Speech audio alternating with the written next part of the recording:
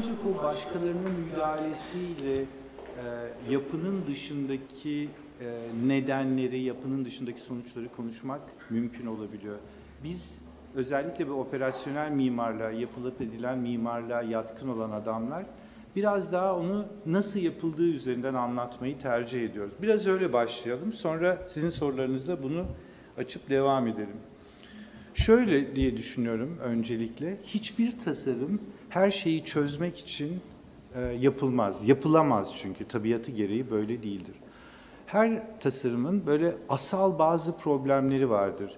Önce onları halleder, sonra diğer meseleler ikincil, üçüncül sırayla o asal meselelere tutunarak ya da kimi zaman çok özel durumlarda kendi bağımsız koşullarıyla kısmen çözülürler. Dolayısıyla her şeyi çözmeye çalışmak e, sonunda bence hiçbir şeyi çözmemekle bitebilir. Onun için de bu tercihi yapmak çok önemli bir şey. Yani bir, bir projenin kaldıraç noktası neresidir? En önemli yeri neresidir diye bulmak. Bu en önemli yerini bulma meselesi de birkaç birkaç e, uçtan geliştirilebilir. Bunlardan bir tanesi topografya ya da coğrafya benim dilimde. Yani bu yapı nerede duracak? Neyin içine girecek? Neyin yanına ilişecek? Neyin dışında, neye yakın ya da neye uzak duracak? Bu ben bence e, bir yapıyı düşünürken en önemli konulardan bir tanesi. Onun coğrafyasının ne olduğu. E, ikincisi kim için yapılacak bu? E, üçüncüsü nasıl yapılacak? Bütün bu faktörleri bir araya koyduğunuz zaman aslında o yapının nasıl o yapıyı nasıl ele alacağınız ve öncelikli olarak hangi problemle boğuşacağınız konusunda kararı da neredeyse kendiliğinden üretmiş oluyorsunuz. Dolayısıyla bu şimdi anlatacağım yapının birincil problemi bir dönüştürme problemi. Bu dönüştürme probleminden şunu anlıyoruz ve bunu anlamanızı istiyorum. Ee, çok sayıda kötü yapı stokuna sahibiz.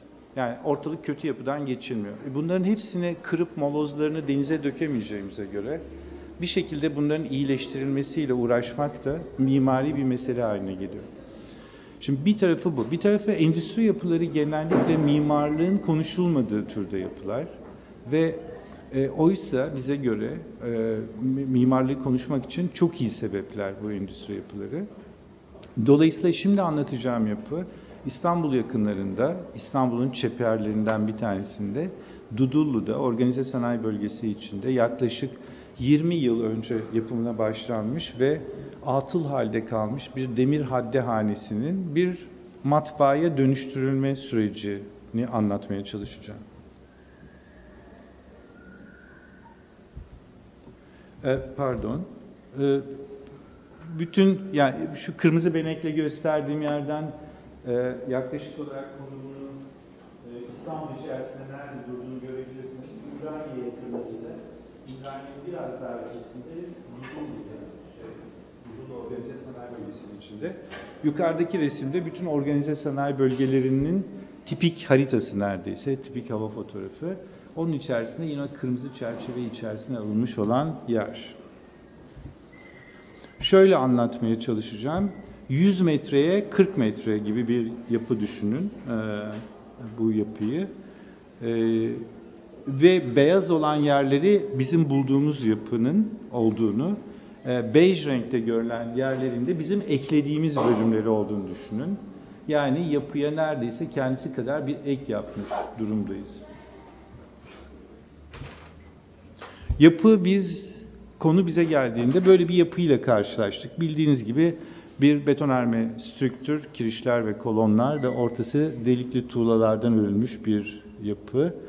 Ee, ön tarafla arka taraf arasında yapının e, yaklaşık olarak 10 metre kod farkı var ve bu kod farkının içerisinde de ağırlıklı olarak yüksek katların girdiği bir yerdi. Bu yapı yapılmış ve 17 yıl yanılmıyorsam böyle böyle kalmış yapıldığı gibi ve sonra bir matbaa almak üzere bize geldi.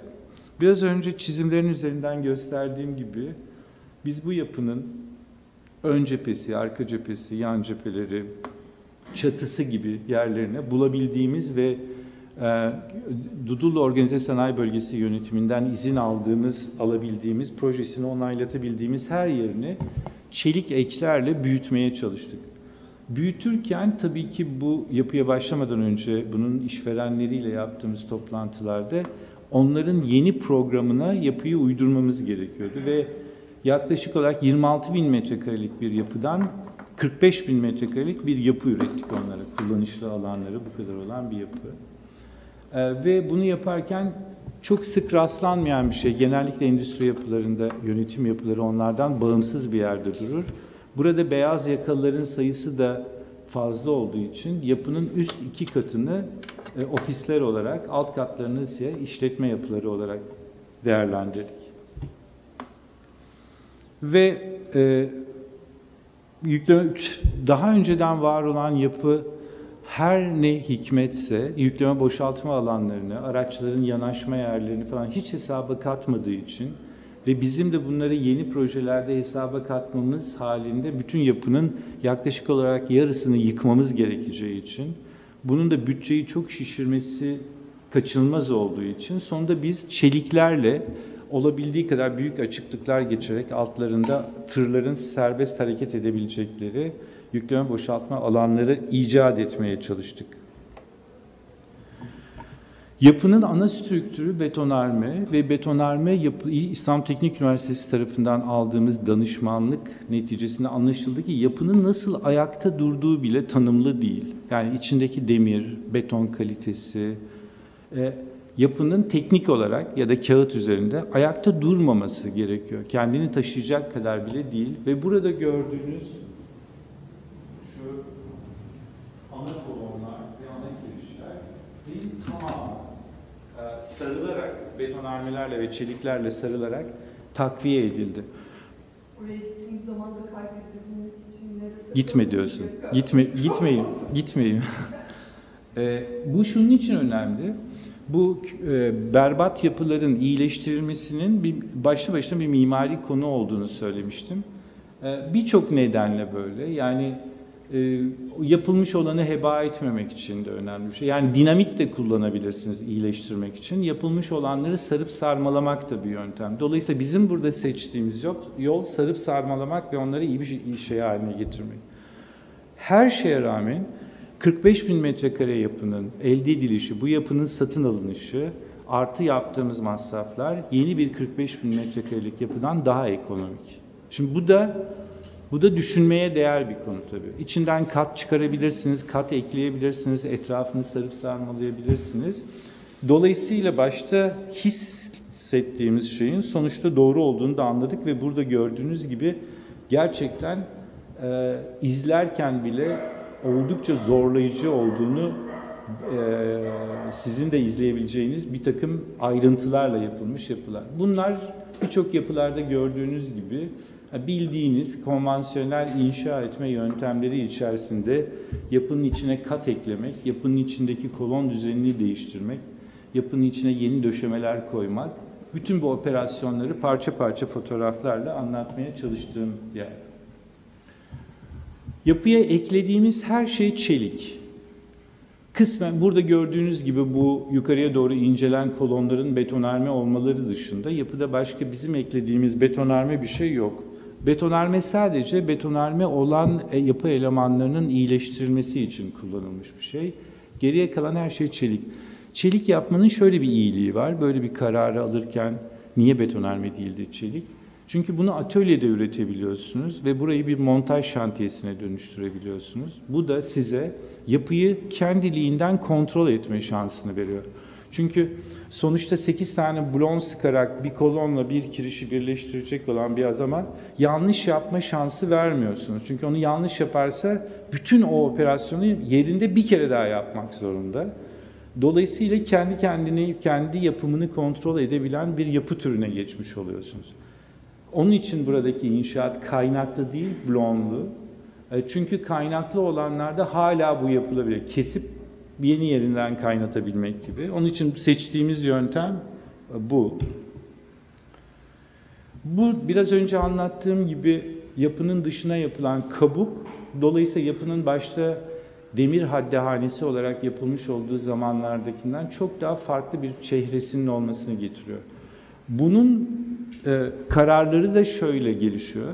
Yapının uzun kenarlarına yapılan ekler perfore metal levhalardan oluşuyor ve yapıdan asıl yapının asıl gövdesinden 3 metre e, uzaklıkta.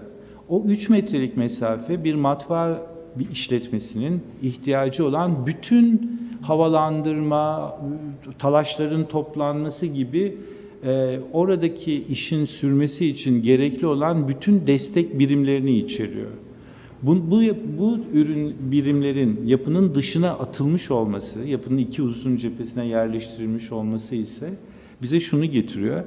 Matbaa makineleri hassas makineler oldukları için ve bu tür e, destek birimleri de sık arızalar yaptıkları için sürekli matbaanın içinde servis elemanları var. Yani matbaaların matbaa işçileri kadar da bu makinelere bakan ve onları onaran adamlar var. Ve matbaanın asıl işçileri bu adamlardan hiç haz etmiyorlar. Çünkü ikisinin titizlik anlayışı birbirine hiç benzemiyor. Dolayısıyla burada bunu yaparak bu bu adamları yapının dışına atıyoruz. Bunlar yapının kabuğundaki iskelelerde geziyorlar ve içeri hiçbir zaman girmiyorlar. Bu bize içerideki işletmenin e, aksaksız bir biçimde çalışmasını getiriyor. Ama diğer taraftan da bunlar dış mekanda durmak durumunda olan yapılar, şey makineler olarak seçildikleri için 3 e, metre kalınlığındaki dışarıda bu perfore kabuğun kabukla ana yapının arasındaki yer bize böyle bir örtüyü kendiliğinden getiriyor neredeyse. Şimdi bu niye önemli? Bu benim için çok önemli. Belli nedenselliklerle yani keyfi bir biçimde bu yapının cephesinin perfore saçla kaplanması kararından daha iyi geliyor bana. E, başka türlü olamayacak kadar geçirgen bir malzemeyle kaplanmış olması gerekliliğini biliyor olmak. Ondan sonra siz bunu ister gerdirilmiş metalle yapın, ister perfore edilmiş saçlı yapı. Ön cephesi ise inadına e, renkli camlarla e, dolu. Biraz sonra göstereceğim fotoğraflardaki vitray etkisini almak için kullanılmış bir şey. Çünkü burası doğu cephesi ve sabah mesai başlarken erken saatlerde buraya gelen e, mavi yakalılar ve beyaz yakalılar bu renkli mekanın içerisinden geçiyorlar. Biraz matbaa ile dolayımlı bir ilişkisi var ama asıl ilişkisi onları dışarıda yaşadıkları dünyadan bir arayüz yardımıyla başka bir alana almak, sonra o günlük işlerinin başlayacağı yere geçirmek. Yani bir bir arayüz gibi kabul ettiğimiz bir şey. Ve bu da aslında anlamadığımız bir nedenle yapının imar haklarından 4,5 metre daha geride yapılmış olmasından dolayı ana yapı gövdesine biraz önce gösterdiğim o delikli tuğlalarla yapılmış binanın ön yüzüne 4 metre öteye eklenmiş bir çelik ve cam strüktürle ana yapı arasında kalmış bir yerden söz ediyorum.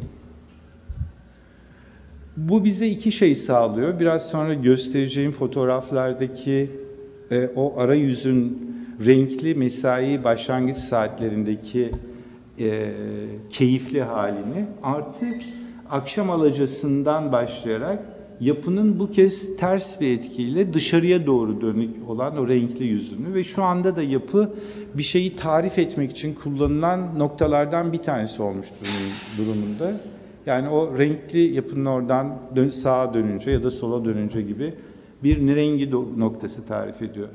Hemen sağda gördüğünüz ve biraz önce size anlatmaya çalıştığım mekanik aksamın yani buranın destek birimlerinin olduğu yan yüzlerdeki makina parklarının olduğu, ara katların olduğu yerde e, yine aydınlatıldığı zaman bütün yapı tamamı aydınlatıldığı zaman tahmin edebileceğiniz gibi bu fotoğrafta yok ama bütün yapı böyle ışıktan bir kutuya dönüşüyor.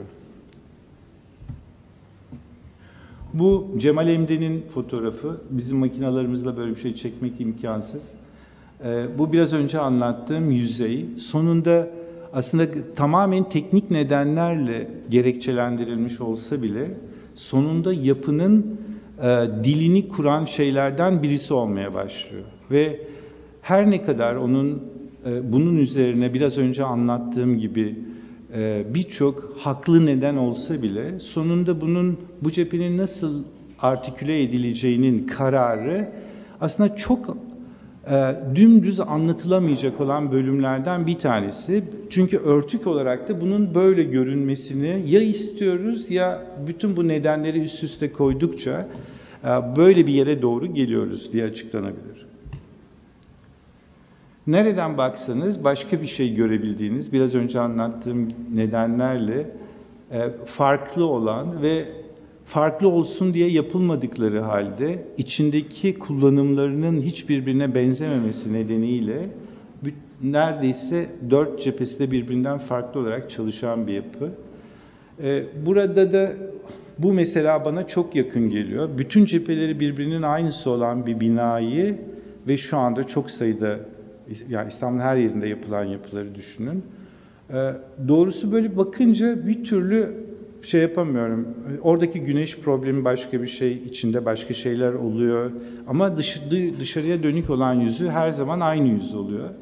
Ee, buradaki bu değişkenlik dolayısıyla burada parça parça fotoğraflarla anlatmaya çalıştığım şey e, bizim için e, kendimizi iyi hissetmemize sebep olan şeylerden bir tanesi. Sol tarafta gördüğünüz fotoğraf kısmen hemen arkasındaki tesisatın dış ünitelerini taşıyan, yani soğutma kulelerini falan saklayan ama yine hava alması gerektiği için panjur bir cepheden oluşturulmuş bir sanayi sitesinde e, o biraz daha böyle o karma karışık çevrenin içerisinde sakin bir şey elde etmeye çalışmanın bir şeyi, denemesi. Sağ taraftaki ise en üst kattaki ofislerin olduğu yerde bu biraz önce anlattığım yan cepheden gelen etkilerin yukarıdaki kapanış biçimi. Bütün bütün bunların sonucunda şu karşıda gördüğünüz ve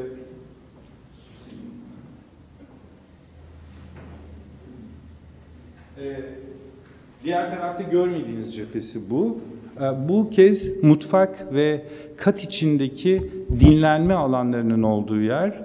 Burası da diğer cephelerden daha farklı olarak e, baktığı yeri düşünürseniz eğer Dudullu Organize Sanayi Bölgesi'nin içine İMES'e doğru bakıyor. Ve İMES yapıları Dudullu Organize Sanayi yapılarına göre daha küçük yapılar, daha bahçeli, daha yeşil yapılar oldukları için enteresan bir perspektif oluşuyor orada ve şu cephe e, bu e, en azından günün belli saatlerinde bir es verdiklerinde, bir çay kahve molası verdiklerinde ya da yemeğe çıktıklarında bu şeffaf cephenin e, sayesinde dışarı nerede olduklarına dair bir fikirleri oluyor. Çünkü olağan koşullarda özellikle matbaa gibi yerlerde özel aydınlatmalarla basılan işlerin renklerini ayarlamaya çalıştıkları için dış ışıklar gün ışığı hiç istenmeyen bir şey. Çünkü onların çalışmasını engelliyor. Ama kapandıkça da orada çalışan adam için oryantasyon problemi başlıyor. o neresi? Bodrum kat mı? Çatı kat mı? Neresi? Dolayısıyla bunlar gün içerisinde e, ona nerede olduğunu hatırlatan yerler olarak bu hale getiriliyor. Diğer taraftan da yapının arkasında gördüğünüz cephe daha önceki binaya ait. Ön tarafında gördüğünüz doğramalar ise bizim yaptığımız eklemeler neyin kendisi, neyin sonradan yapılmış olduğunun okunaklı bir biçimde ortada olması da çok işimize gelen ve aradığımız bir sonuca dönüşüyor. O biraz önce konuştuğumuz yerden bir ayrıntı.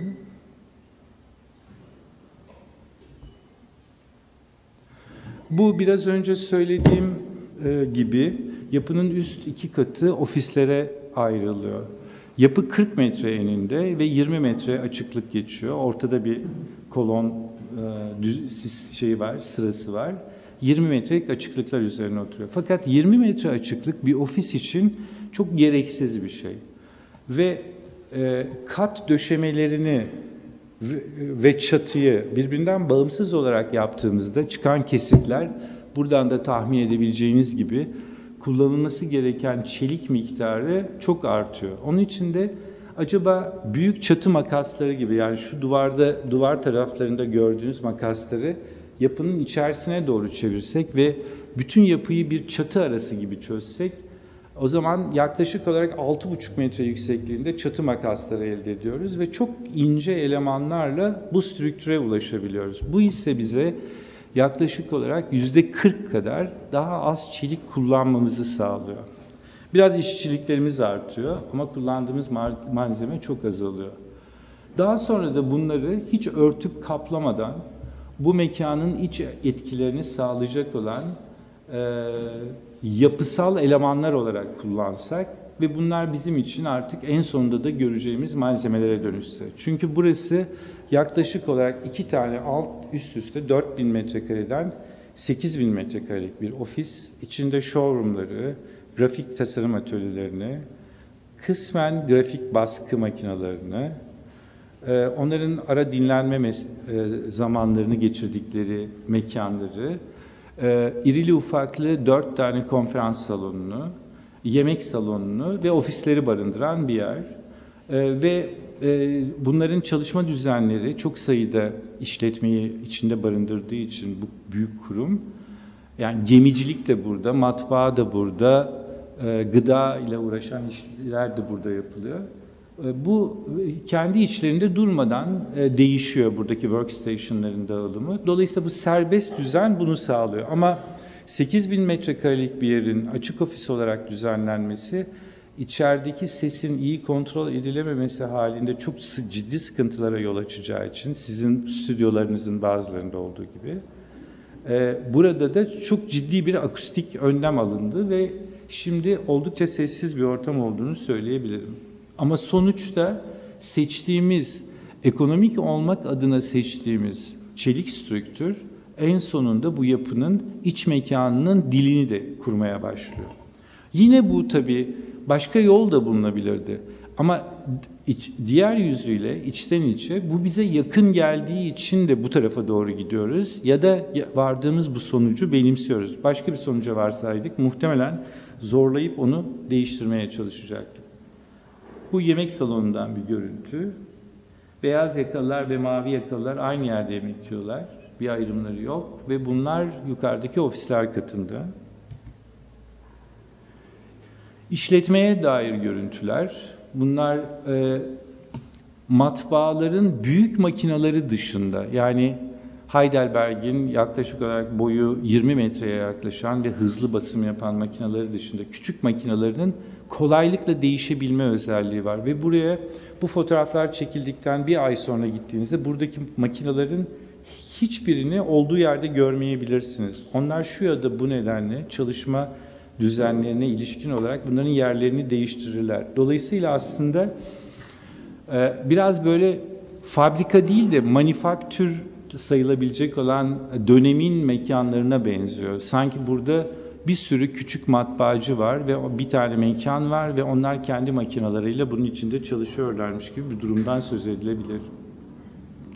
Farklı farklı enstantaneler onun içerisinde. Mevcut yapının strüktürüyle yeni işletmenin tesisatlarının ve kullanımlarının iç içe geçirildiği yer. Bu inşaat sırasındaki bir fotoğraf. Hemen hemen bitmiş haline çok benziyor. Yani bittiğinde de bundan daha farklı bir yapı çıkmadı.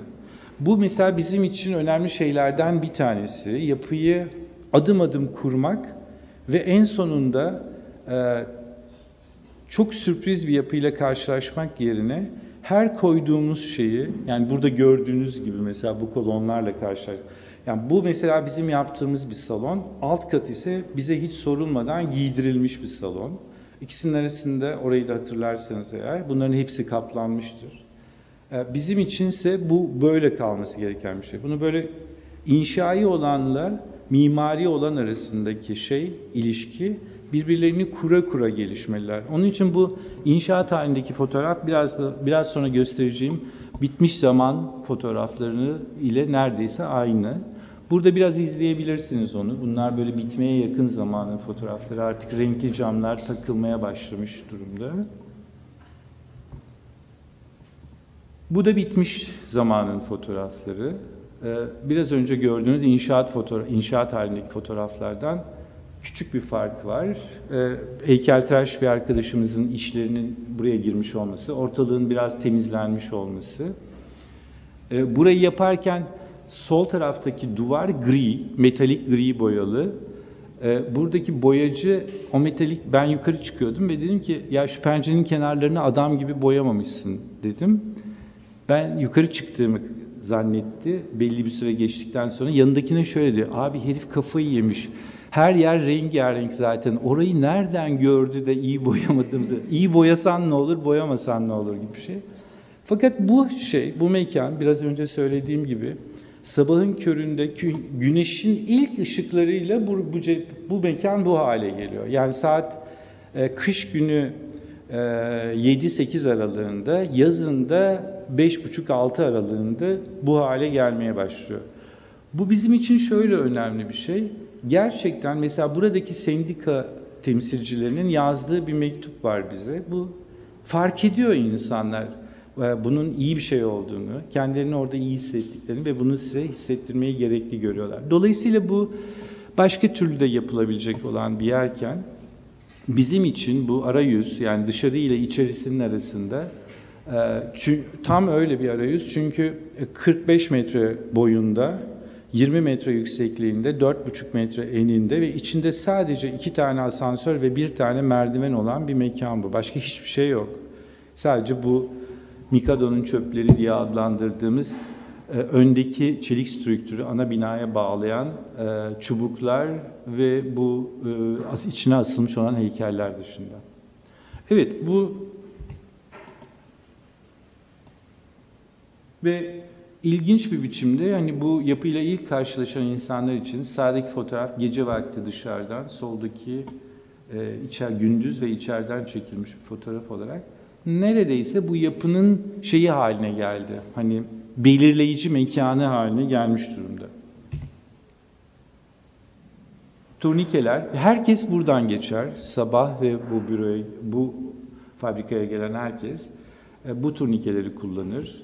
Mavi yakalılar bunları geçip sağa dönerler. Beyaz yakalılar bu turnikeleri geçip o merdivenlerden yukarı çıkarlar ya da asansörden. Görüşmeye gelmiş, ön toplantılara gelmiş ve ofise çıkması istenmemiş olanlar sağ tarafta gördüğünüz küçük bölmelerin içerisindeki toplantı odalarına girerler.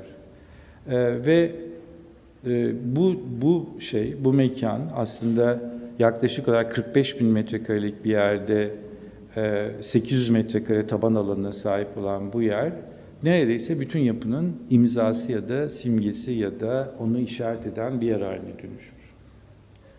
Başka bir yer olsaydı, matbaa değil de başka bir iş yapıyor olsaydı bunu yapar mıydık? Emin değilim açıkçası. Şu...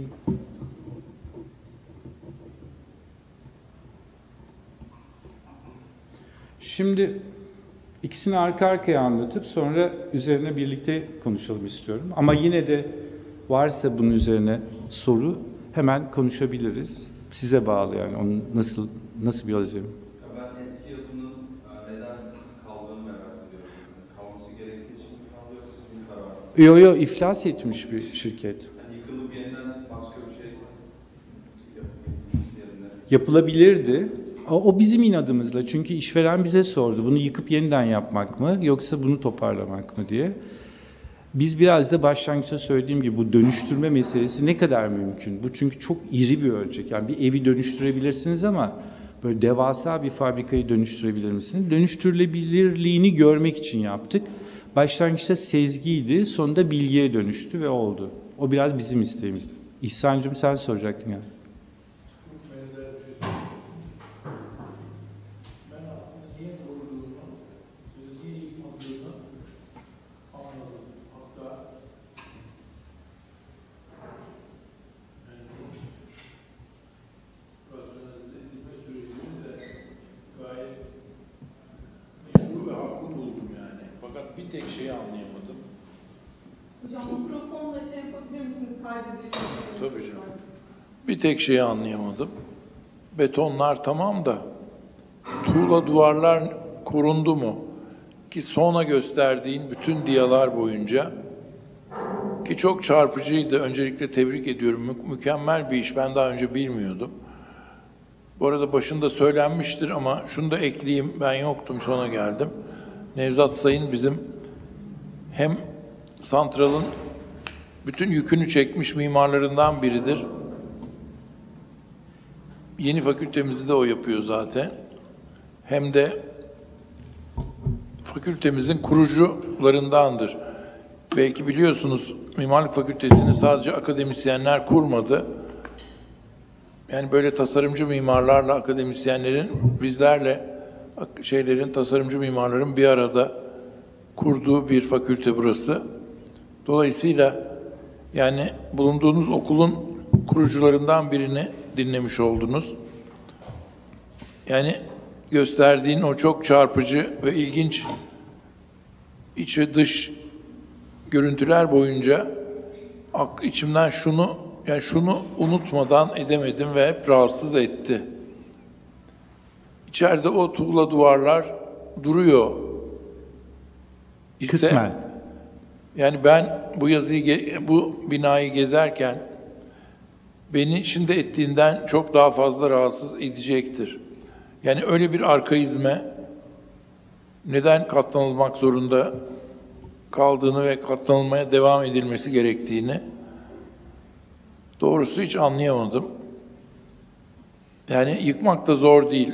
İki tane amelenin eline birer tane şey verince çekiç oradaki her bir duvarı yarım saatte sürmezdi. 15 dakikada birer birer indirirlerdi ve yani böyle bir kabuğun içinde delikli tuğla duvarların kalması gibi çok ileride bu bina arkeologlar tarafından bulunduğunda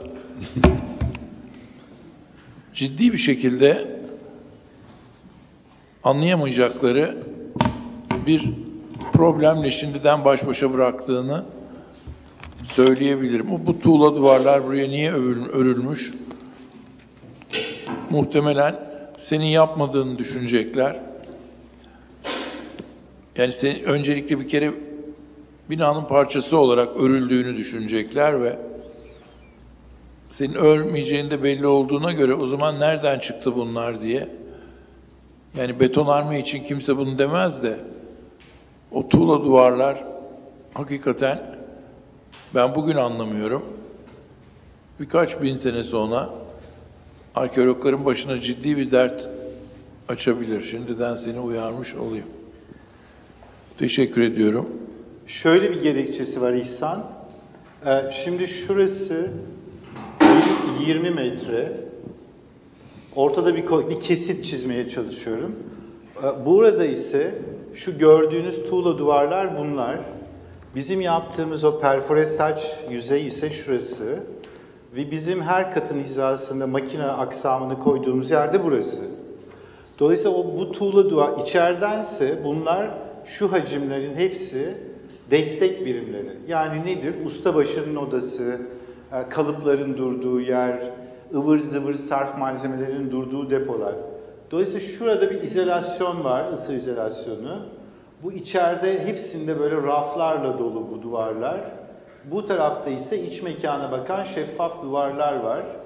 Dolayısıyla şurada gördüğümüz tuğla duvarlar bir, bir gofretin iç tabakası gibi. Onları kaldırıp atabilirdik ama ha yani vardı kullandık gibi bir durum var. Çok iyi anladım. Teşekkür ediyorum. Daha da iyi bir nedeni olamaz. Efendim?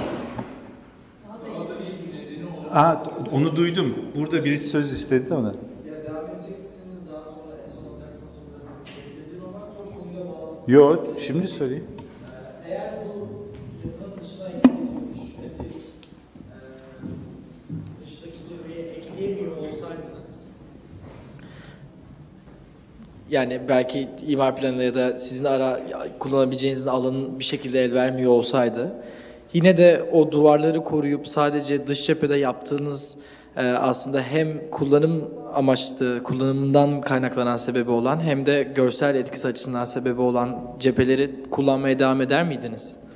Şöyle, o gün ne yapardım bilmiyorum ama bugün bu problemle bugün karşılaşacak olsam şimdi İhsan'ın sorduğu gibi bunları kaldırıp tuğla duvarları burada ihtiyacım olan yer kadar bölümü ayırıp buraya ikinci bir duvar yapıp şimdi gördüğünüz cepheyi diyelim ki daha öteye götüremiyorum. Buraya yapıp makine parkı olarak bu bölgeyi kullanıp yeni duvarlarımı buraya çeker, biraz içeriden fedakarlık eder ama bütün servis adamlarını yine burada tutardım. Çünkü bu hem buradaki emişler hem buradaki atışlar için ve buradaki servis adamlarının iç mekanda gezinmeden bunu çözebilmesi için örneği de yok. Çok ilginç bir şey. Yani daha komplike matbaalar var. Mesela bunlar yukarıda ya da bunlar aşağıda. Ve bunlar bütün katlara böyle servisler veriyorlar. Ama şu yok hiç. Hiç yapılmamış. Yani kimse e, cepheye böyle bir şey, böyle bir tesisat katı yüklemeyi aklına getirmiyor. Yani bizim tespit edebildiğimiz kadarıyla yok. Ama bugün de yapsam öyle bir şey yaparım. Yani cephe yaklaşımınızda aslında işlevi her zaman biraz daha önünde tuttunuz bu eklemeyi yaparken. Tam tersine. İçerisi öyle olduğu için cephe öyle.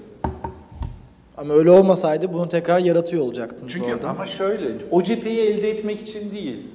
Burası dış ortam olarak çok anlamlı olacağı için.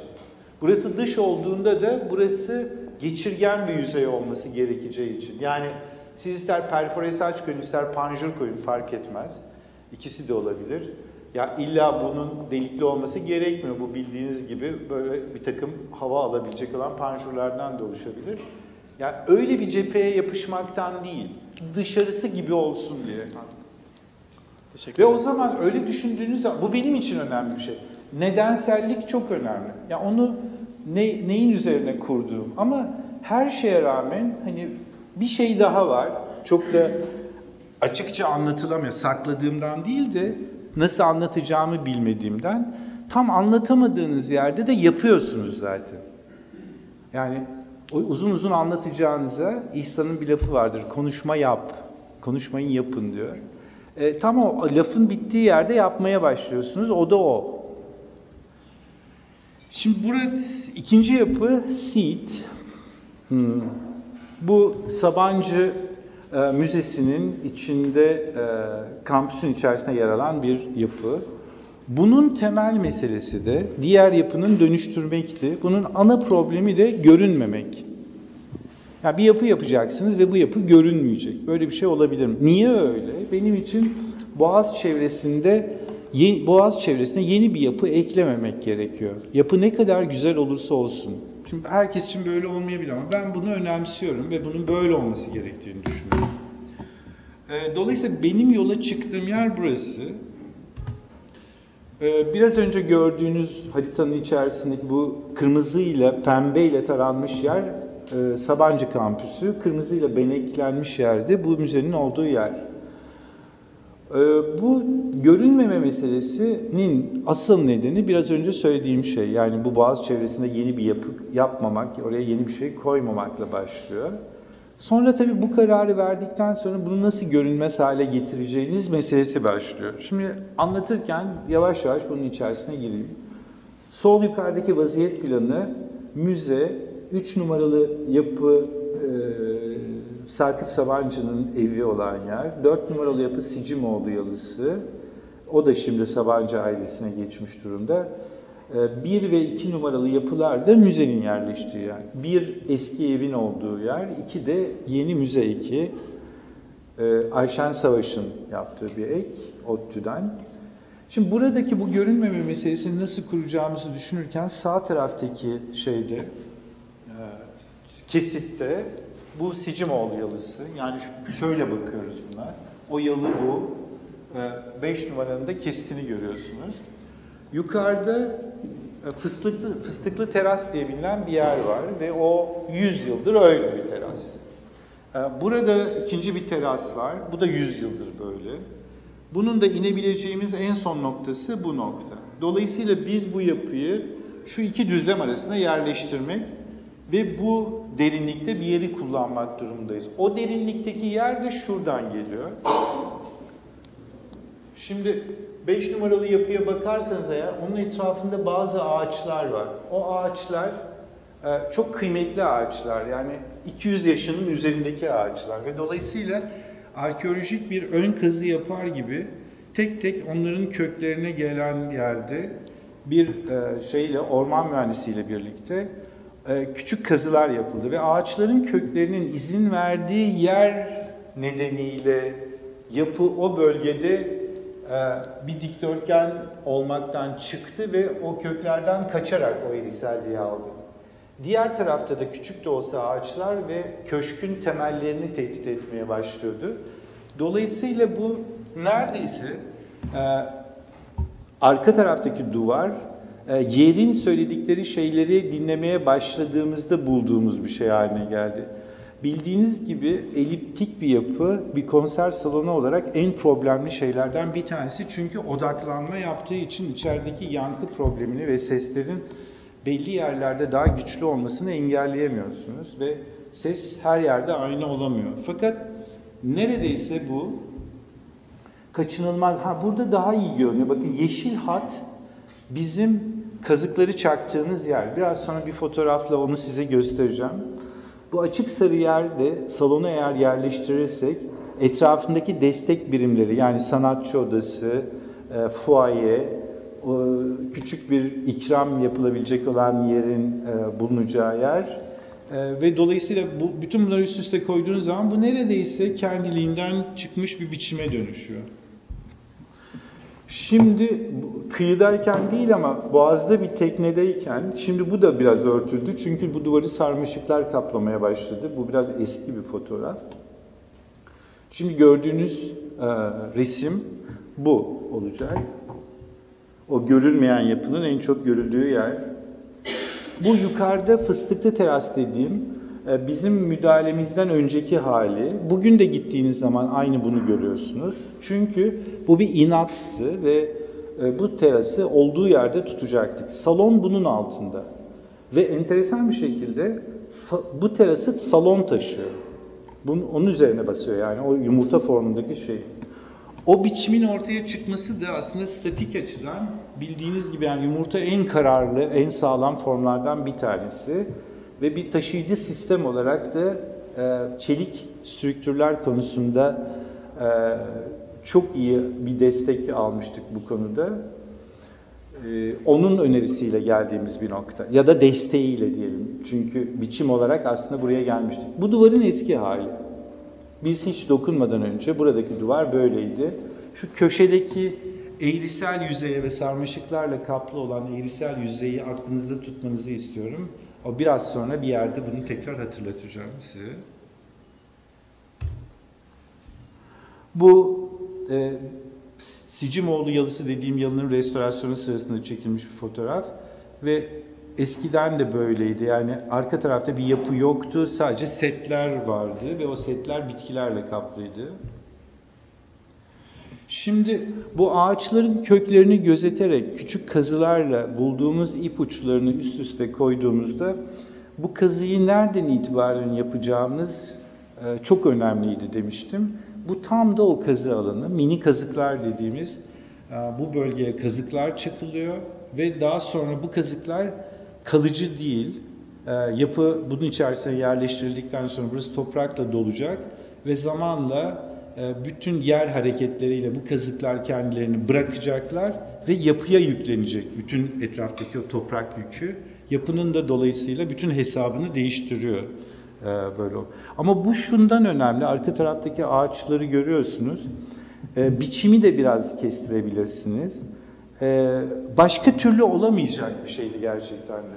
Şu köşe, o sarmaşıklarla örtülü olan köşe bu köşe. Pardon şu köşe. Onu inşaatın başından sonuna kadar olduğu gibi tuttuk. Her yeri dağıttık ama onu dağıtmadık. Bu e, temel e, bir radye sistemiyle bu açtığımız boşluğun e, zeminini betonla kapladık ve bütün çalışmalarımızı da bunun üzerinde yaptık. Bunu yaparken bütün yapı çelik ve bir tersanede yapıldı. E, çünkü bu göreceksiniz birazdan fotoğraflarını. Biraz böyle gemi yapmak gibi bir şey. Çelikle yapılmasının asıl nedeni şuydu. Gördüğünüz o e, çok sınırlı e, mekanı, boşluğu kullanabilmek için çok ince yapısal kesitler kullanmamız gerekiyordu. Bir.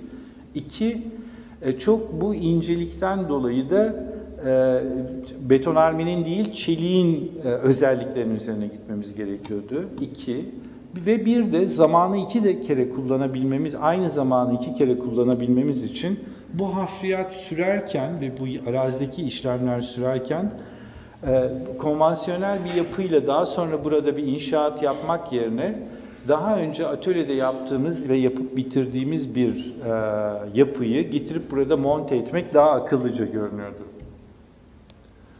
Ve o biraz önce gördüğünüz yani hemen bu zeminin üzerine daha sonra gelen e, ve o eliptik e, hacmi oluşturacak olan kabuğun yerleştirilmesi.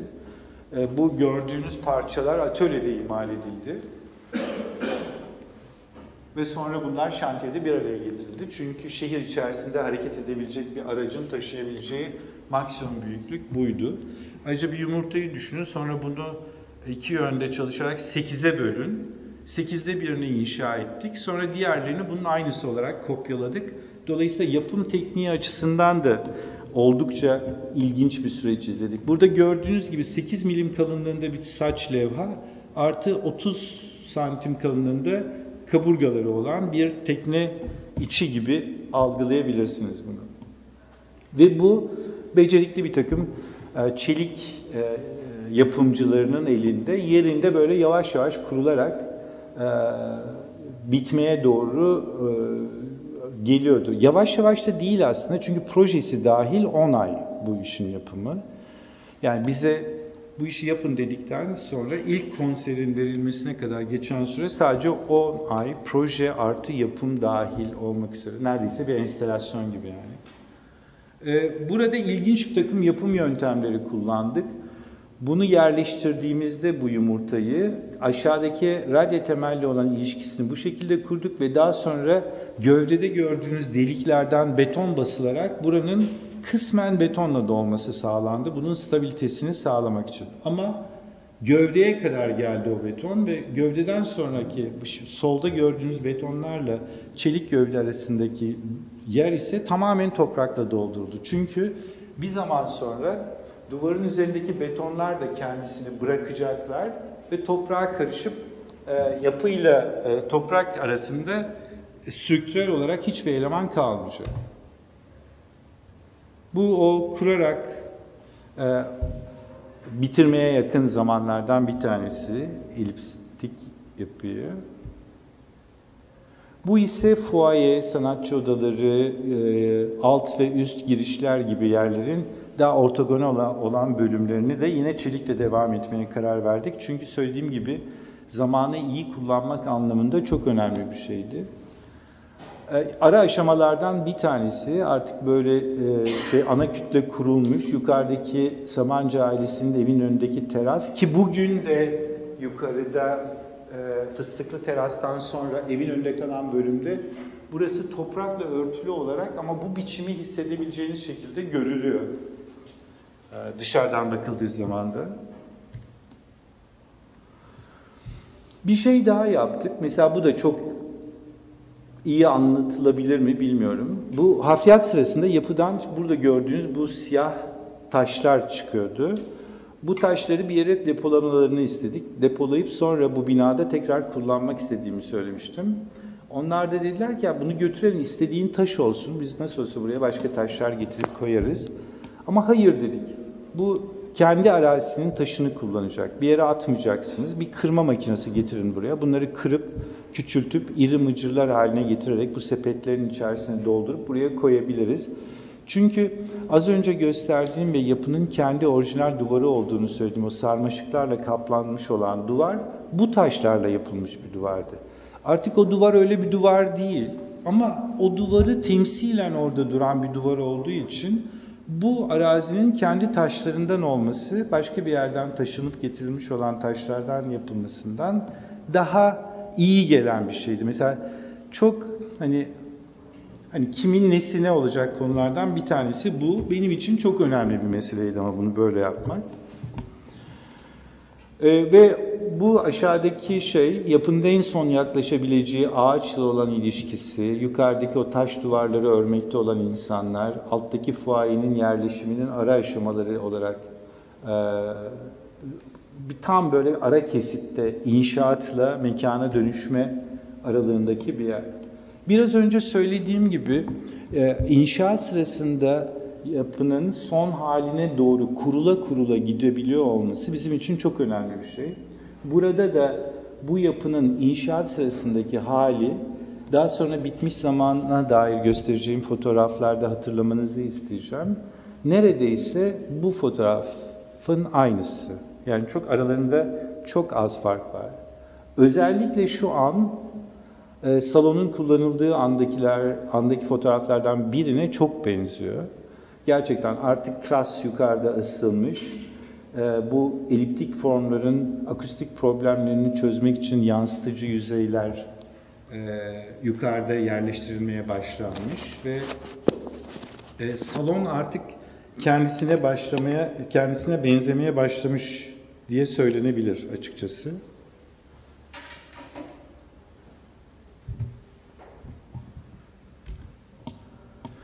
Kısaca bu biraz önce anlattığım çerçeve içinde kalarak e, nasıl yerleştiğimizi söyleyeyim. E, söylemeye de gerek yok işte salon, e, ön tarafındaki kapalı fuaye, sonra onun ön tarafında çıktığımız açık fuaye, arka tarafta destek birimleri, sol tarafta destek birimleri var.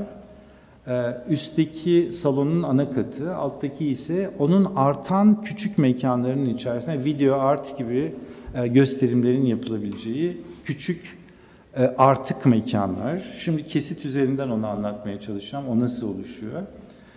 E, Alttaki kesitte gördüğünüz gibi e, aslında bir oda orkestrası için e, gerekli olan salon konvansiyonel bir salon, tribün halinde ve tek yöne doğru eğimli.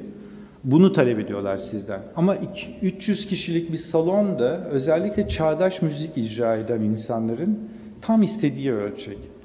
Dolayısıyla Aykut Köksal bu büyüklük yani 300 kişilik bir salon yapıyorsan bunu eğer klasik salon formunda dondurursan haksızlık olur. Çağdaş müzik yapan insanlar için de burada bir imkan sağlanmalı dediğinde ama o çağdaş müzikçiler de böyle salon talep etmiyorlar.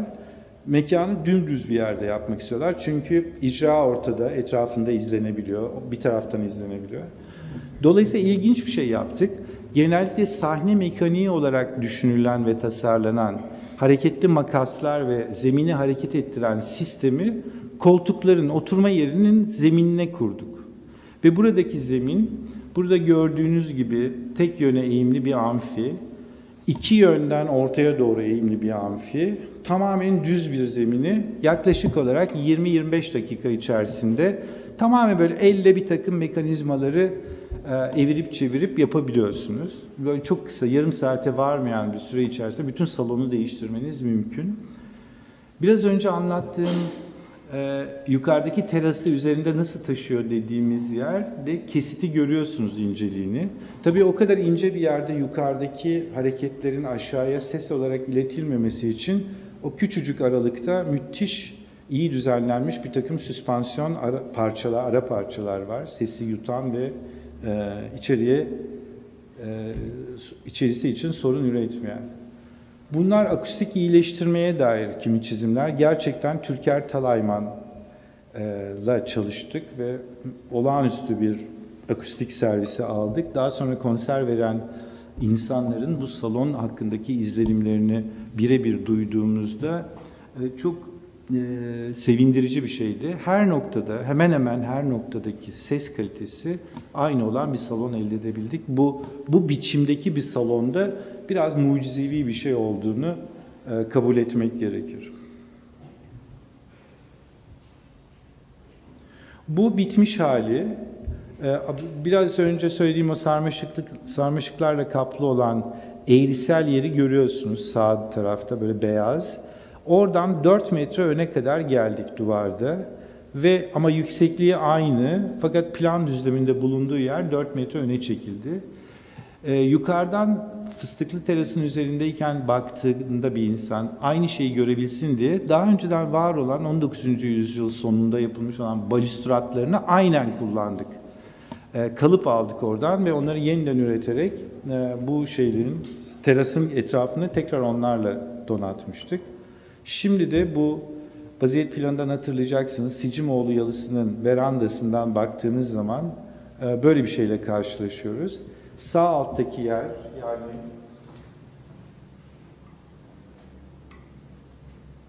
salonun girişi. E, ve onun dışında başka bir yerden bir girişi yok. E, ve ancak Sicimoğlu Yalısı'nın verandasına çıktığınızda böyle bir şey görebiliyorsunuz. Bunun çok yakınına gitseniz bile Sabancı Müzesi'ne, kampüsüne girdiyseniz eğer bu yapıdan birisi size söylemedikçe hiç haberiniz bile olmayabilir. Bunu hiç görmeyebilirsiniz yani. Bu giriş yerinin e, içeriden görünüşü. O girişten içeriye adımınızı atar atmaz alt fuayede gördüğünüz şey yani neredeyse buradaki gibi davranılmış ve bütün tesisatları ortalıkta açıkta. E, sadece orada yangın önlemi Sabancı'nın dayattığı, Sabancı Kurumu'nun dayattığı bir şey olarak burada olmayan ama orada olan yangın tedbiri olarak bütün boyalar ve her şey yangına dayanımlı. E, sarı kütle e, o eliptik salonun parçalarından bir tane. Onun böyle ucundan hissediyorsunuz burada bir tuhaflık olduğunu ama o kadar ve ilk ele verdiği yer orası. E, o sarı nesnenin yapıştığı duvarda da yine e, inşaat sırasında çekilmiş olan fotoğraflarla donatılmış bir du- duvar var. Yukarıdaki fuaye e, sağ tarafı kapalı olan, sol tarafı açık olan yer. E, oldukça basılmış bir e, halde. Yani buradaki kat yüksekliği 2.10 e, saçak altı ama içerideki fuayenin çok yüksek. Bu da biraz böyle denizin, et, gökyüzünün etkisini azaltıp denizin etkisini, boğazın etkisini iyice abartmak için yapılmış bir e, bastırma. Aynı zamanda da e, deniz tarafından, kaldırımdan baktığınız zaman bu yapının en az hissedilmesini sağlayacak. E, gece hareketliliğinde bile orada sadece bir ışık hissediyorsunuz. O kadar. Bu da üst fuayede yapının bir kısmını daha algılamaya başlıyorsunuz yukarı çıktığınızda. Böyle Yellow Submarine gibi duruyor orada. Ee, ama yine bir kısmı görünüyor sadece. Yani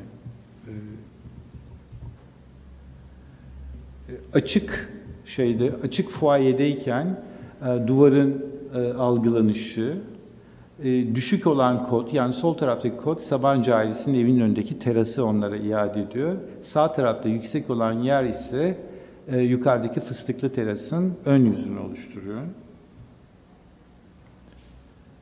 Yine bu açık ve kapalı teraslar, bu sigara içilirdi içilmezdi meselesi yüzünden Türkiye açık mekanları öğrenmeye başladı. E, bunlar yine Cemal Emre'nin fotoğrafları söylemediğim. Açıkçası çok iyi anlatıyor derdini. E, bu taşların taşların olduğu yerin arka tarafı bu yapının bütün bu salonlarda hele gömük bir yerde çok önemli olan sessizliği nedeniyle de olağan bir yapıdan herhalde 2-3 kat daha fazla ekipman gerektiren havalandırma, ısıtma, soğutma gibi sistemlerin bulunduğu yerler. Taşların aralıklarını o mekanların atışları ve emişlerinin pencereleri gibi kullandık. Bunlardan hava geçebiliyor. Hatta çok daha fazla havaya ihtiyacı olan yerlerde pencere gibi böyle boşluklar da gördünüz daha önceki yerlerde. Ama bunların bazıları mesela o kadar havaya hava gerektirmediği için bu aralıklarından giren ve çıkan hava onlara yetiyor. Bu şekilde kullanılan yüzeyler. Salonun içine dair şöyle bir şey söylenebilir. Şimdi oda orkestraları için 300 kişi çok şey iyi kabul edilen ölçekler. Bu salonu yaparken söylediğim gibi bu eliptik yumurta formunu kabul ettikten sonra bu biçimi oluşturan şey üçgen parçalardı. E, çünkü eğrisel yüzeyleri geçmek için üçgen çok kullanışlı bir şey. Biz içeride akustik mühendisine sadece şöyle bir şey söyledik. İçerideki düzlemi aynen dışarıya çıkarın. Ama bunların yüzeylerinin nasıl olacağı, açılarının nasıl duracağı size bağlı. Tamamen akustik problem olsun. Ama hangisinin düz, hangisinin yivli, hangisinin delikli, hangisinin emici, hangisinin yansıtıcı olacağı tamamen akustik mesele olsun. Dolayısıyla burada gördüğünüz bazı üçgen parçaların siyah, diğerlerinin renkli görünüyor olmalarının tek biricik nedeni onların öyle gerektirdiği için bazıları aynalaşıyor, bazıları ise bütün görüntüleri, ışıkları emdiği için, yansıtmadığı için karanlık görünüyor. Renkli sandalyelerin şeyi şu nedeni, e, orkestra yönetmeni olan bir arkadaşım dan duymuştum. Ben bir ara e, son prova fotoğrafları çekerdim orkestraların. E, ve çok da keyif alırdım açıkçası. Hala ben son provalarını mesela orkestraların konserlerinden daha çok severim. Artık müzik oturmuştur ama onlar da aynı rahatlıklarını sürdürürler. Bir gün bana şey demişti. Ya boş salona yani başlangıçta problem değil ama müzik oturduktan sonra boş salona çalmak sıkıntılı bir şeydir aslında. Biz ya ben çok sevdiğimi söylemiştim. Biz çok sevmeyiz son provaları. Onun için. Ve oradan acaba bir bir salon boşken dolu görünebilir mi diye bir bir soru idi bu. Acaba sandalyeleri renkli yapsak o doluluk fikrini sağlayabilir miyiz diye ve böyle bir şey yaptık. Yani buradaki 300 350 sandalyenin her biri başka bir renk ve başka bir desende. Ee, Bunu İsveçli bir firma yaptı, Lamholtz. Ee, Bunu iyi söylediğimizde, aa tabii ne demek gibi karşıladılar. Oysa bu Türkiye'deki hiçbir firma bunu yapmaya yanaşmamıştı. Meğerse bunu bir şaka olarak kabul etmişler. Benim Türk İngilizcemin berbatlığı da bunu yol açmış. Yani bunu ne kadar iyi anlatabildiğimden emin değilim. Ama e, bir şaka olarak almışlar ve evet demişler. Ama bir şey terbiyeli adamlar oldukları için bu evet dedikleri şeyi değiştirmediler. Ve buraya kartelalar gönderildi ve buradan şey gerçekten de hiçbir sandalye ötekinin aynısı değildir. Biz de ona şey yüklemiştik. Zaten hiçbir adam da ötekinin aynısı değildir. İşte bunları böyle koyarız. insanları temsil eder diye. Bunu bir orkestra şefi gerçekten buldu ve çıkardı. Ya burası boşken de dolu gibi görünüyor. Buradaki prova çok keyifli dedi. Sanki öğretilmiş gibi. Şimdi mesela bu başlangıçta kurmadığımız halde bu parlak, rugan parlaklığındaki siyah yüzey şöyle bir etki yapıyor. Burada gördüğünüz gibi aslında simsiyah bir salon olmasına rağmen konser başlamadan önce siz böyle bir salona giriyorsunuz. Renkli sandalyeler ve bu renklerin yansıdığı bir tavan içerisine ve rengarenk bir içe giriyorsunuz. Sonra ışıklar söndüğünde ise bütün etki kayboluyor, kararıyor ve hakikaten müzikle baş başa kalabileceğimiz bir şeye dönüşüyor, salona dönüşüyor.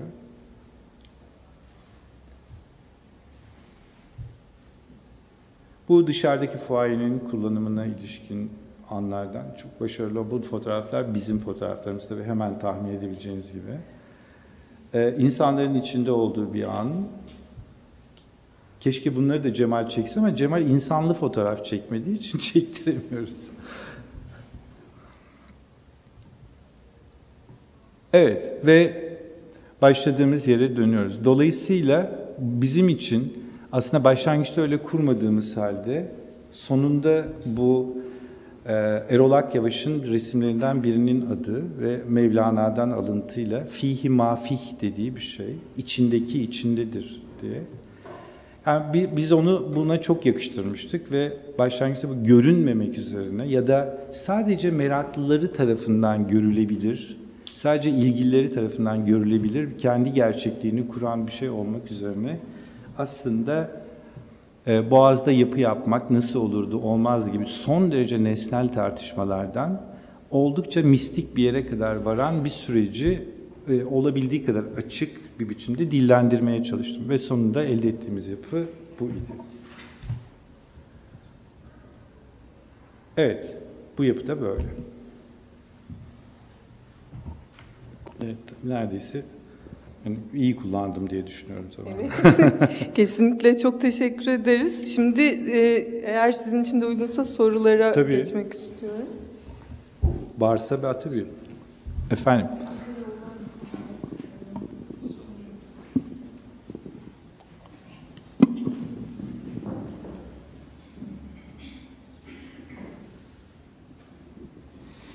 Gerçi neyle karşılaşacağımı biliyordum ama doğrusu çok etkilendiğimi söylemeliyim. Yani ilk sözüm şu olacak, sonra bir şey daha söyleyeceğim ama ne yapıp edip bu iki işini de mutlaka en azı domus olmak üzere şöyle ele gelir doğru dürüst bir dergide yayınlamalısın. Ayrı ayrı lütfen. İkisini de yani. Bir tek soru işaretim şu. Büyükçe bir soru işareti. Nitekim sen de büyükçe bir oda yapmışsın. Oda orkestrası denince Epey büyük bir oda olmuş, güzel de olmuş. Şerhim şu ki, her ikisini de, her iki işini de kapsayarak söylüyorum. İş bu noktalara kadar geldikten sonra, yani denemek ve hiçbir sınır tanımamak konusunda artık bu kadar duvarı çiğnedikten, bu kadar ileri gittikten sonra bunlara hala yapı demek bana doğrusu çok arkaik geliyor açıkçası. Yani ne kastediyoruz tam olarak yapı? Ne- Nerede yapı olur? Nereden sonra olmaz? Bana şöyle geliyor. Yani alternatif bir isim önerim yok. Bunları mimarlık dünyasından dışlamak gibi bir derdim hiç yok senin de gayet iyi bileceğin gibi ama yani bunlar kente konmuş farklı kullanımlar için kente kon- konmuş ve gayet de güzel kullanılan bir takım şeyler. Şey demek yani nötr bir şey söylemek lazım. Yani yapıyla hiç alakası yok gibi geliyor. Devamlı hani boğaza bir yapı yapmıyorum dedikçe sen ne dediğini anlıyorum. Yani görünen şey mi yapıdır? Gibi ya da illa bir kutu olunca mı şu veya bu formda bir kutu olun kapalı kutu olunca mı yapı olur gibi temel sorular ister istemez akla geliyor. Bu sırf senin gündeme getirdiğin bir şey değil. Bence bu çağın problemi ve soru işareti. Sen de şu bu iki işin ne? Bir iş demeyi tercih ediyorum. Bu iki işin ne? Bu soruyu bütün dünyaya bir daha sormuş olmuşsun bence yeterince. Onun için arada senin de zaten dil sürçmesi olmadan işte gemi falan gibi şeyler söyledin. Hayır ben yapı değil de gemi demiyorum tabii ki ama yani şey ya da dink oldukça felsefi kategori. Heidegger'in kullanmayı çok sevdiği bir kavrama dönüştürdüğü bir şey dink. Yani şey ya da think. Yani oradaki büyük soru işareti böyle şöyle cevap veremeyiz. E, Nevzat Sayın mimar. Onun için de her yaptığı yapıdır gibi gereksiz bir totolojiye düş yani yapı nedir? Mimarın yaptığı şeydir. Olmaz. Bu söylediğim gibi senin için söylemiyorum sadece. Bu bence kırılma noktası Paris'teki bunu teknolojik görünüm filan açısından da söylemiyorum, yapım açısından da söylemiyorum. Paris'teki Pompidou Kültür Merkezi'nden beri ve de aynı sırada yapılmış Ahın'daki klinikumdan beri bunlar bence yapı denen şey arkaik tarih öncesinden kalma tarifi sınırı ortadan kaldırmanın başlangıcıydı. Hani sen de onlardan işte kaç 40-50 sene sonra iki kere daha bu onların yaptığını yapmışsın bence. O bakımdan bence çok önemli ve yani dünyanın iyi bir dergisi bu yorumla birlikte memnuniyetle yaparım istersen. Seve seve. Daha ne isterim? Yani ben görmek isterdim bunu. Hani seninle aynı şehirde yaşayan ve dostun ve aynı üniversite çatısı altında biri değil de işte bana gelen dergilerden birini açıp da bu iki işten birini görseydim çok etkilenir ve çok şey ilham alırdım onu söyleyeyim. O açıdan yani bunu işte dünyada öyle dergileri alan, alanları da mahrum etmemek lazım bu. Türkiye için de hallolacak bir şey değil bence yani. O bahsettiğim iki binanın açtığı kulvarı, bunu Arap Enstitüsü falan hepsini dahil ederek söylüyorum. O kulvardan giden bir şey bu. Bir çizginin işte şu anda karşımıza çıkan örnekleri onun için yani artık o kelimeyi kullanmadı tabii ki demiyorum. Herkesin ya senin bu konulardaki tavrını da biliyorum. Yani o iyi tarafında olan muhafazakarlığını da biliyorum ama yaptığın iş onu çok arkaik kılıyor diyeyim söyle, söylemindeki bu küçük şeyi aralığı. Yani deminki tuğla duvar kadar uzak kalıyor gösterdiğin şeye diye hissettiğim şeyi bir hatırlatmak istedim sadece o kadar. Biraz da hani burada öğrencilerimizin önünde söyleyeyim ki aramızda yarım saat sonra da söylerdim ama hani bir madem açık bir yerdeyiz öğrencilerin de şahit olduğu bir ya da konukların belki herkes öğrenci diye bilmiyorum. Şahit olduğu bir iki laf etmemiz belki faydalı olur diye bunu da eklemek istedim. Çok çok teşekkürler. Çok iyi oldu bu. Ben Elif'in yapmaya çalıştığı şeyin de bu olduğunu hissediyorum. Tam konuşmadık ama İhsan'ın açtığı yer çok önemli. Yani Evet, aslında benim de soracağım soruyla çok ilgili bir şey sor, söylediniz, bir yorum yaptınız.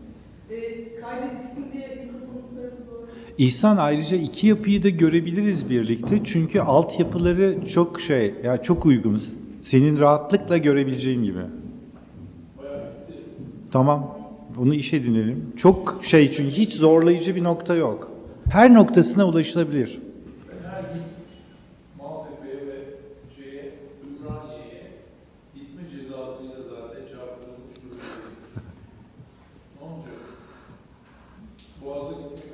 Tamam. Tamam. Ben üstleniyorum bu kaçama. Olur.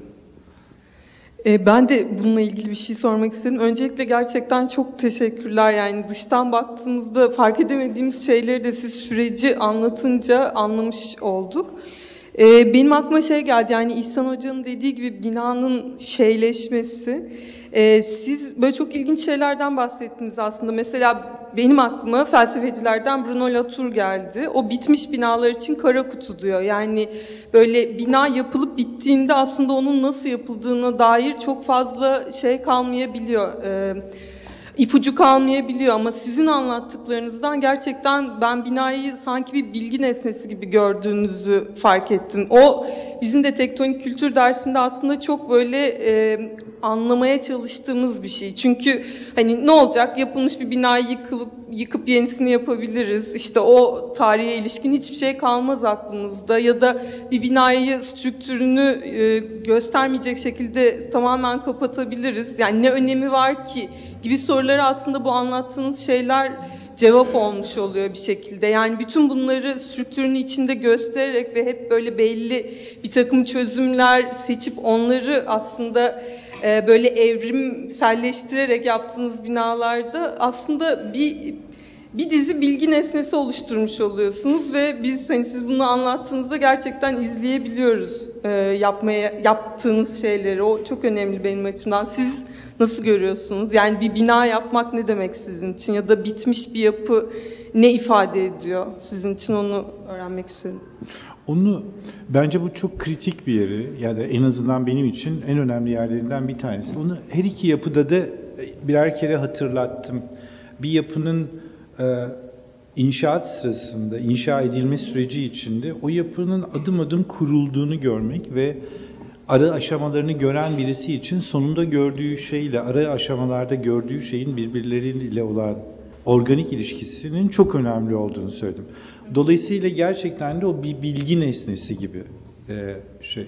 Hatta e, becerebilsem eğer bazı hislerin bile aktarılabilmesini istiyorum. Yani o e, işçilerin e, olduğu an, yani mesela bu kadar e, salonun halini gördükten sonra inşaat sırasındaki onların şeyi pozisyonu bence çok şey çok hmm, iyi anlatıyor benim en azından e, peşinde olduğum şeyi. Dolayısıyla evet öyle görüyorum. Bunun okunmasını istiyorum.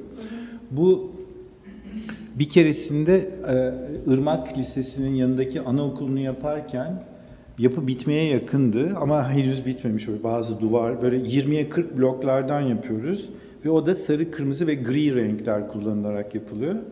Ee, bir küçük bir çocuk sesi geliyor ve belli ki babasıyla birlikte binayı geziyorlar ve orada okuyacak belli ki. Ve şöyle dedi, babasına yapıyı anlatıyor ve ben de duyuyorum bunu. Duvarın arkasında olduğum için beni görmüyorlar. Şu fotoğraf. Ee, biliyor musun burası Lego bina. Bunları böyle üst üste yan yana koyuyorlar, koyuyorlar. Bu bina oluyor.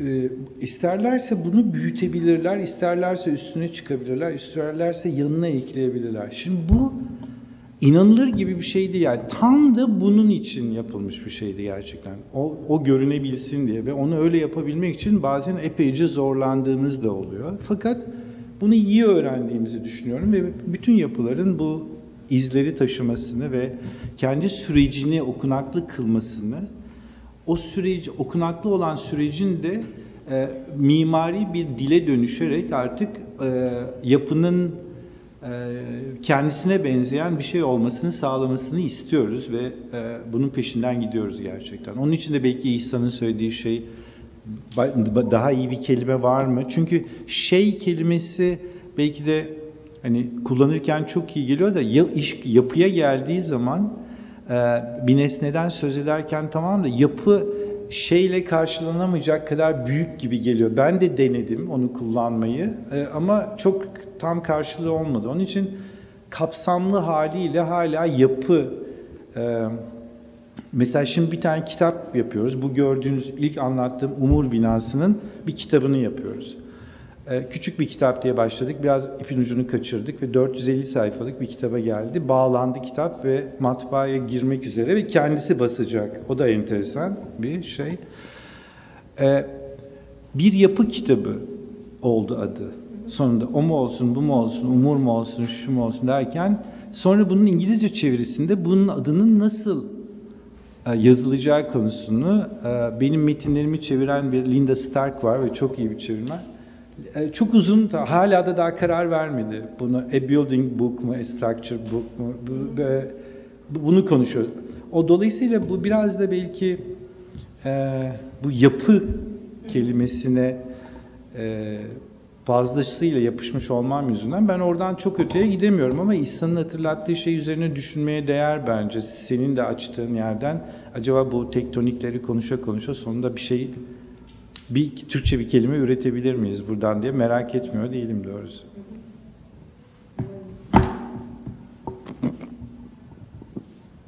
Soru?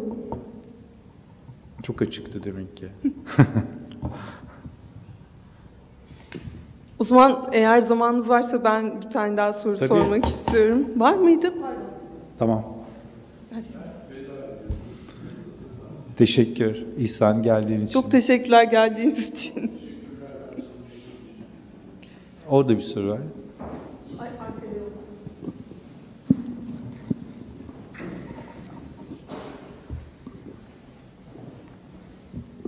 Merhaba, ben de çok teşekkür ederim.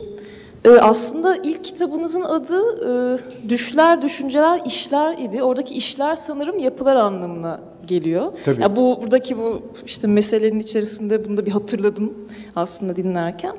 Bu seed de e, yani sorusunu tam formüle edemedim fakat sanırım bu iki şeyi yan yana koyduğumda biraz soru da ortaya çıkacak. İki ayrı durum var. Bir tanesinde mimar e, oranın hafriyasından çıkan taşı bile oradan e, işte başka bir yere taşımak istemiyor. Onu kırdırıp o cephede oradan çıkan taşı özellikle kullanmak istiyor. Hatta ileride görünmese bile bunu bu şekilde yapmak istiyor. Yine aynı yapının bir parçası olarak da ister istemez yıkılan aslında tarihi bir mekan var. Bu Fıstıklı Teras denen yer var. Ve orası e, aslında uygun olarak aslında rekonstrükte ediliyor. Yani bu taş konusuna gelirsek çok hakiki olan ve o yere ait olan bir şey var. Fakat yukarıda ise e, bir tür rekonstrüksiyon var. O da bu hakikilik meselesinde bir hani başka bir e, konu tartışma konusu açıyor aslında. Hani bu iki şeyi aynı yapı içerisinde e, bulmak çok ilginç. Siz ne hissediyorsunuz bunun hakkında onu merak ettim. Çok iyi, çok güzel bir ayrıntı. Şöyle, beni de çok düşündüren şeylerden bir tanesiydi. Fakat meşruiyetini şuradan alıyor. Yukarıdaki terasın balüstratları taş gibi görünmekle birlikte yani kendisinden diyelim ki 100 yıl önce o balüstratlar taş olarak yapılıyordu. Ama orijinalinde onlar döküm. Dolayısıyla zaten bir kere kendi hakikatini yitirmişti. Dolayısıyla buradan devam edip biz de onun aslında eskisi gibi görünen, eskisi gibi kurulmadığı halde eskisi gibi görünen bir şey yapabilir miyiz diye soruyu oradan sorduk.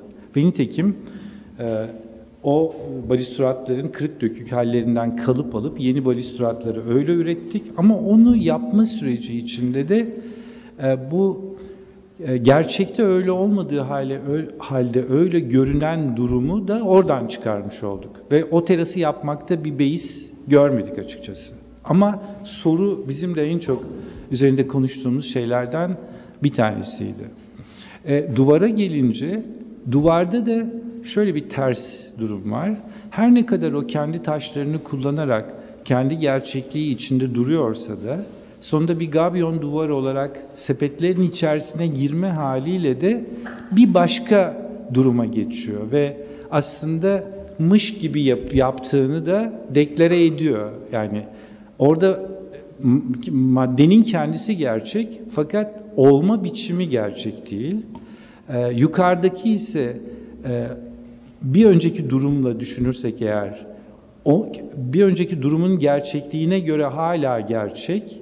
E, dolayısıyla bunların ikisi birbirinin üzerine bindiği zaman hani sorularını kendi içinde tutmak koşuluyla e, es geçmediğimiz ama böyle hani karar verirken de kendimizi kötü hissetmediğimiz e, iki uçlu bir şey oldu. Ama bunu bulup çıkarmış olman çok ilginç. Yani tam da orayı bulmuş olman. Çünkü en çok zorlandığımız şeylerden birisiydi o. Yine de benim için e, teknik meseleler, zorunluluklar, nedensellikler en önde duruyor. Yani önce ötekine tutunmuyorum. Öteki bir neden değil benim için sonuç olabiliyor. Sonunda oraya gelirsem, oradan yola çıkmıyorum ama oraya varırsam çok hoşuma gidiyor. Ama yola çıktığım yer bayağı açıklanabilir, tartışılabilir, üzerine konuşulabilir şeyler oluyor. İlginç bir şey yani mesela en başlarda bunlar bizi çok şey yapmıyor, çok ilgilendirmiyor. Mesela yumurta formunun üstündeki o terasın durduğu yer, aradaki o süspansiyonlar, sesin iletilememesi ama 200-300 kişi yukarıda tepinirken de o sistemin onu taşıyor olması asıl, asal problem buna dönüşüyor. Ama onu çözerken de işte balüstratlar, kalıp almak, gerçek miydi, değil miydi? Hala bunu yapabilir miyiz? Böyle bir kendimizi savunabilecek bir yerimiz olabilir mi? Bunları da tartışmaya devam ediyoruz açıkçası. Şey gibi düşünüyorum yani e, tutunduğum yerlerden bir tanesi mesela zanaatkarlık. Yani bütün bunların bir taş duvarın örülme biçimiyle e, benim onun eski duvarından elde ettiğim kırılmış taşları yerleştirme biçimim arasındaki e, asıl bağ zanaatkarlık üzerinden kuruluyor. Yani yeni bir yapıda çok azalmış olan ve neredeyse bir, bir süredir hiç kalmamış olan zanaatkarca çalışmayı e, koparmadığımızda, bunu yaptığımızda e, bence onun, o çok önemli bir bağ kuruyor e, bir önceki durumla arasında. Ve bunu önemsiyoruz ve bunu elimize geçen her fırsatta yapıyoruz.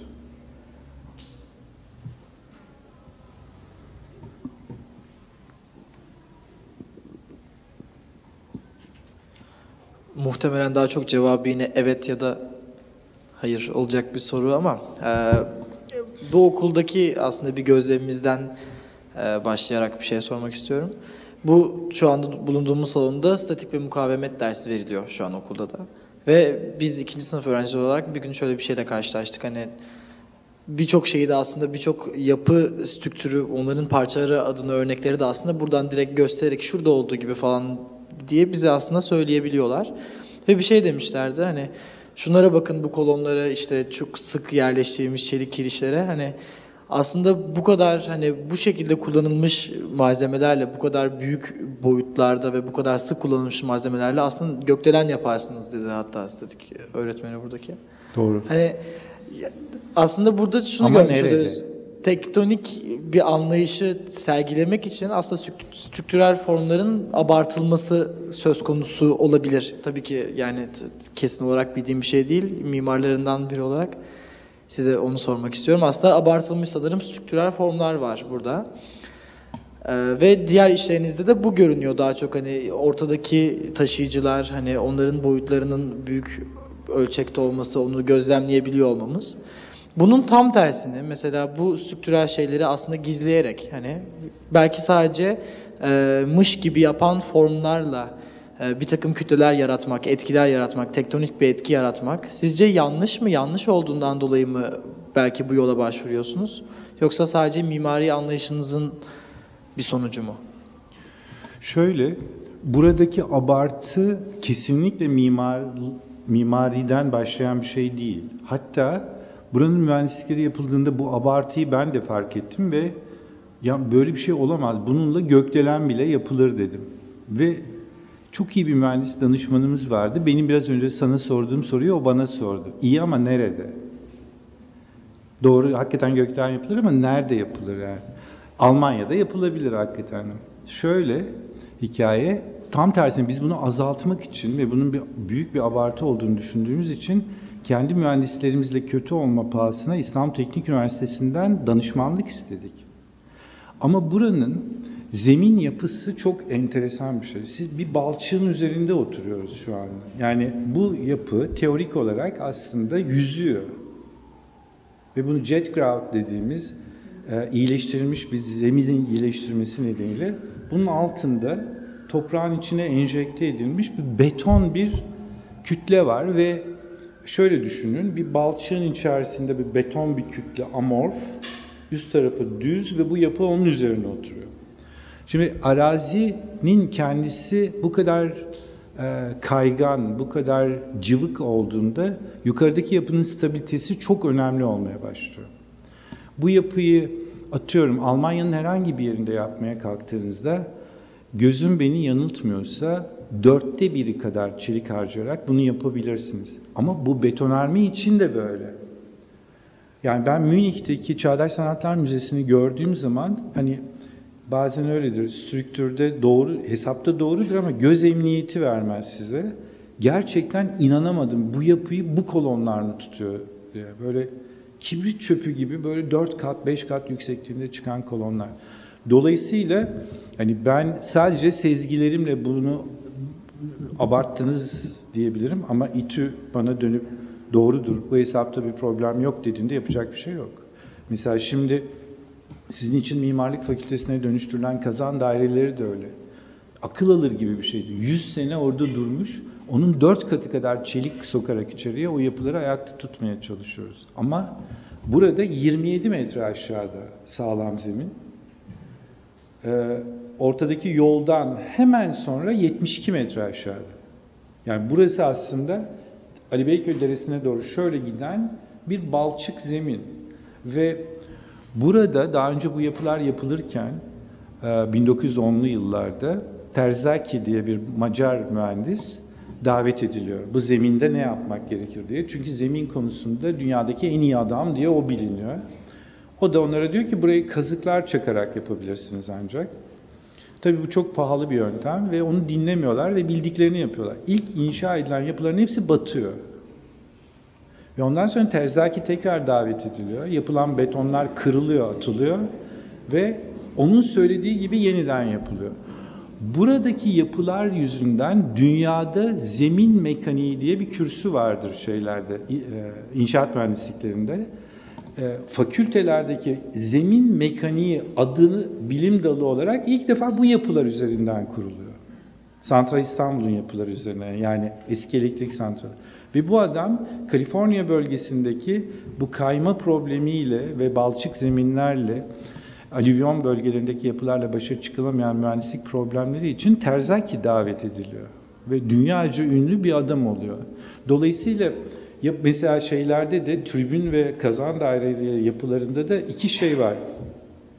Kazan dairesi ve tribün gibi ağır olan asıl makinaları taşıyan sistem çok kalın ayakları olan şey. Ve o da mesela dünyanın başka bir yerinde olsa onun o boyutlarda olması gerekmiyor. Yine büyük olması gerekiyor ama o şekilde çünkü bununla karşılaştırma yaptığınızda aynı tribünleri ve aynı e, kazanları kullanan Almanya'daki mesela Ruhr Havzası'ndaki bir takım santrallara bakıyorsunuz. Kesitlerde çok büyük farklar var. Bu yapılıyor ama ona karşı çünkü bu önemli. Onların dengesi bozulduğu zaman çalışmıyorlar. Özellikle tribünler. Onların terazide olması çok önemli.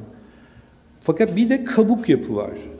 Yani makinaları koruyan bir fanus diyelim ona. Bu ise inadına gayet cılız malzemelerle yapılıyor. Çünkü onun eğilip büyülmesi falan çalışmayı engellemeyeceği için sorun değil. Dolayısıyla senin sorduğun yer biz bunları mimari nedenlerle abartmadık. Tercihimiz tersidir. Yani minimalist olsun diye bir şey yapmanın peşinde değiliz ama ne bir şey gerekmedikçe yapılmamalı diye düşünürüm ben. Onun için en az, hakikaten en az, nerede durabiliyorsak onun en azında durmayı tercih ederiz. Ee, şey, e, ikinci ona bağlı olarak sorduğun yapı, yani diyelim ki burayı böyle jilet gibi beyaz bir kabuk haline de getirebilirdik ve biz onun içinde oturabilirdik. Evet, enteresan bir yapı ve birçok minimal olduğu söylenen davranışlar sonucunda yapılan birçok yapı aslında öyle.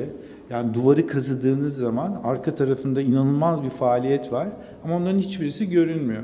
Bu bana çok yakın gelmeyen bir şey. Yani kişisel olarak benim tercihim bu değil.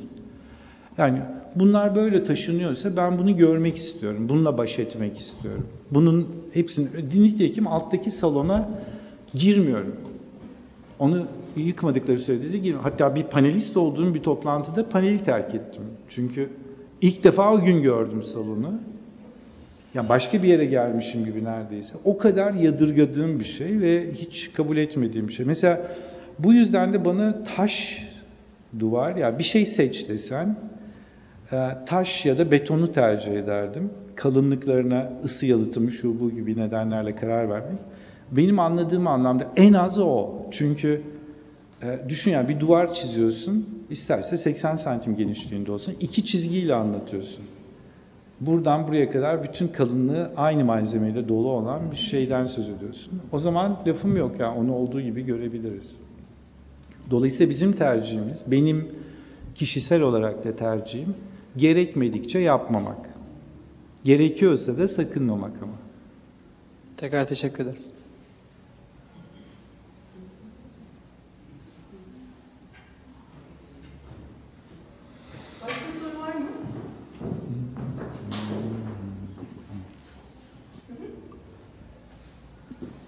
Merhaba. Ee, Seed'deki o tekrar kullanılmış taş duvarları yapmadan önce nasıl bir karar vardı? Yani ben şunu anlamadım. Onu inşaat sırasında mı o hale getirmeye karar verdiniz? Hayır.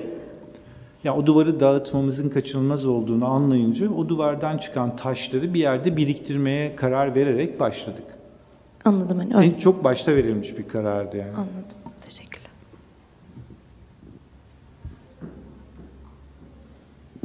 Çok teşekkür ediyoruz. Ben de. Çok sağ olun. Harika bir sunuş ve tartışma oldu. Size de geldiğiniz için çok teşekkürler.